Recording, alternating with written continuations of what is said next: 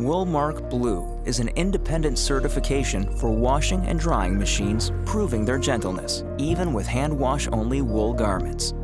While others talk about being gentle to wool, we're proud to announce that we're the first to deliver combined washers dryers awarded with the blue label in washing and drying. So, for the first time, you can now safely wash and dry your wool garments in the same machine. No felting and no shrinking. You can trust our machines.